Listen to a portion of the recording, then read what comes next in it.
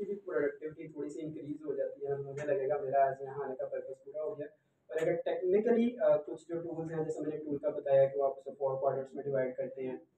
अली माशाल्लाह खुद project manager हैं। प्रोजेक्ट मैनेजमेंट में बहुत सारी टेक्नोलॉजी बहुत सारी टेक्निक्स पाई जाती हैं। स्क्रम होता है। आप लोग करते हैं? सुबह कोई स्टैंड अप मीटिंग होती है आपके यहाँ पे? कर लिया करें। उससे प्रोडक्ट काफ़ी इंक्रीज हो जाती है क्योंकि डिपेंडेंसी ख़त्म हो जाती है। स्क्रम में ये पता लग जाता है सुबह आते साथ ही कि यार ये मैंने कल किया था। ये मेरा आज का प्लान है और किसी की मेरे पे डिपेंडेंसी तो नहीं। तो जब किसी की आप पे डिपेंडेंसी नहीं होती ना तो आपको एक अलग तरह का फ्रीडम मिलता है।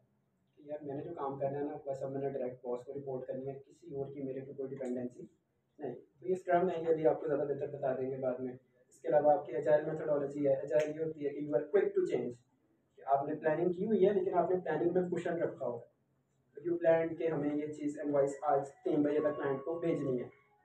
जिस मुल्क के खुदादाद में रहते हैं, तीन बजे पूरे मुल्क का इंटरनेट चला गया। अब क्या करेंगे? तो एजाइल ने इस चीज़ का रूम रखा होता है कि अगर पूरे मुल्क का इंटरनेट चला गया तो हम ये करेंगे कि हम इनवाइस एक दिन पहले रेडी करेंगे एंड दिन पे डेडलाइन पे रेडी नहीं करेंगे और अगर हमें कोरियर करनी पड़ गई तो हम कोरियर करते हैं ईमेल नहीं करेंगे ना, उसको प्रिंट निकाल के हार्ड फॉर्म में कोरियर कर देंगे। काम हो गया।